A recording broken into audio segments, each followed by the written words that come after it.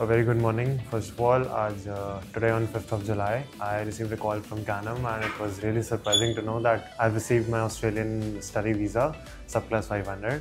Uh, I'll be studying civil engineering honors there for four years in the Deakin University, which is the world's best university in top 200.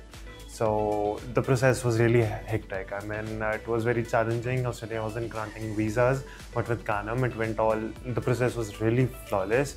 Uh, the team here is really supporting.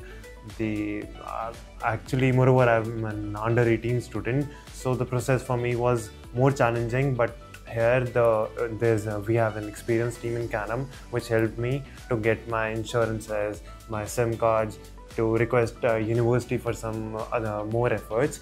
And uh, I'm really very happy. So I wish if you want to go to Australia Canam is the best place. Thank you so much